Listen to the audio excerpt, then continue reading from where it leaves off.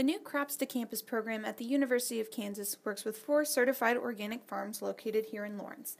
Moon on the Meadow is owned and operated by Jill Elmers, who is also the head of the CSA. The Red Tractor Farm is a fourth generation farm operated by Jen Humphrey and Jessica Pearson.